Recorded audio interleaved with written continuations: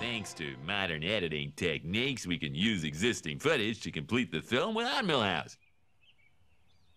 Watch. Looks like we're in trouble, Fallout Boy. Jiminy Jillikers, radioactive man. We'll have to fight our way out. Are you ready? Yes.